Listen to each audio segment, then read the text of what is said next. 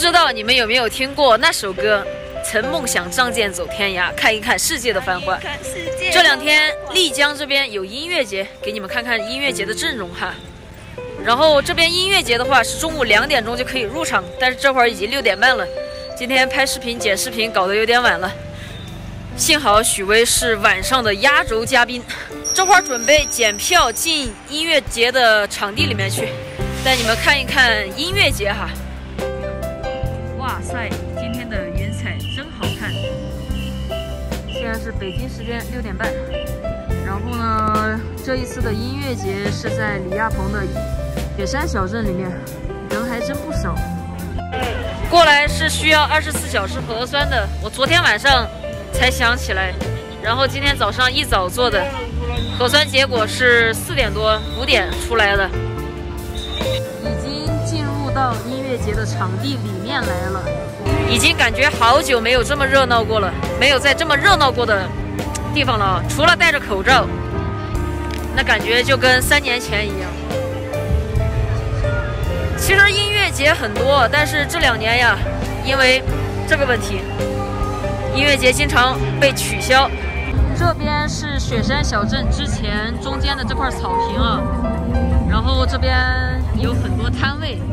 都在卖特产呀，卖饮品呀，泡面加蛋，烦恼滚蛋。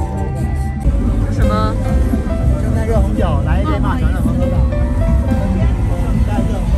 明天可以吃。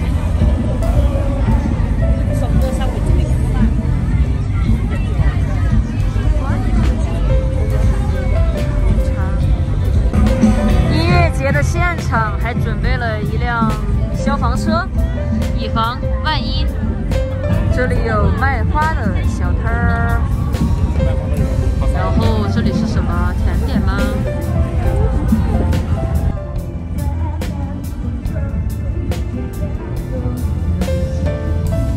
哇塞，在这个里面好像还有一家骑行装备店，口 mini 骑行装备，然后这边还有一些摩托车。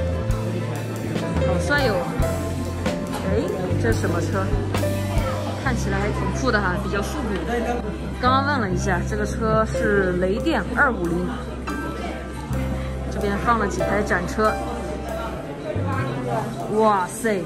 接下来重点就来了，你们见过八缸的摩托车吗？BOSS，美国的吗？美国进来的。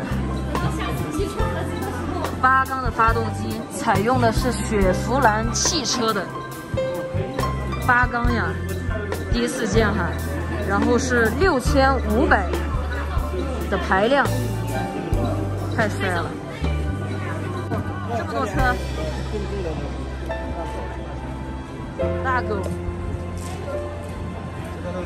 哇，那个是这边还有一个展厅，瞅一眼，瞅一眼。